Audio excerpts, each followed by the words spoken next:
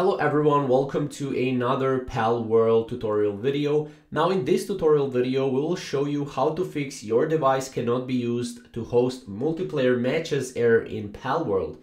Now most of the time, the error is caused by a internet connection, a bad internet connection, or it can be caused by a software that you're running in the background, such as VPN and antiviruses.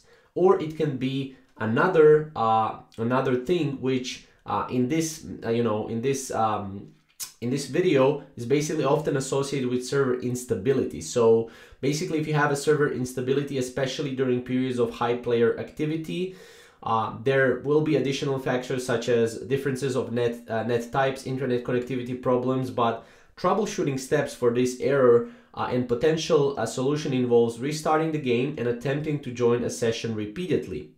If not, you can try to switch your internet connection or devices. Additionally, it is advisable to check the net type and internet connection of both yourself and friends, ensuring that everyone shares the same net type and maintains a stable internet connection.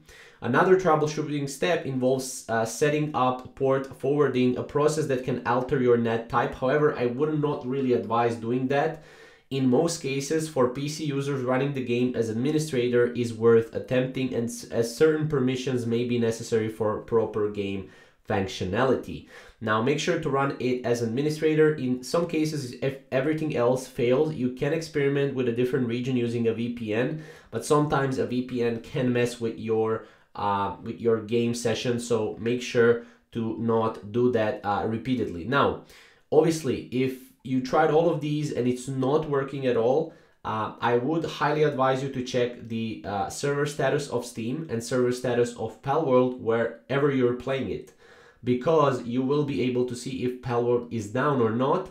Also, you can make sure to contact support because uh, you know the support is the only resort, resort and last resort if you want to fix this error. So uh, yeah, hopefully you guys enjoyed the video. Uh, make sure to comment down below which uh, which of these helped you and if you have like a specific solution, also comment down below so that other people can see that specific solution. Thank you guys for watching.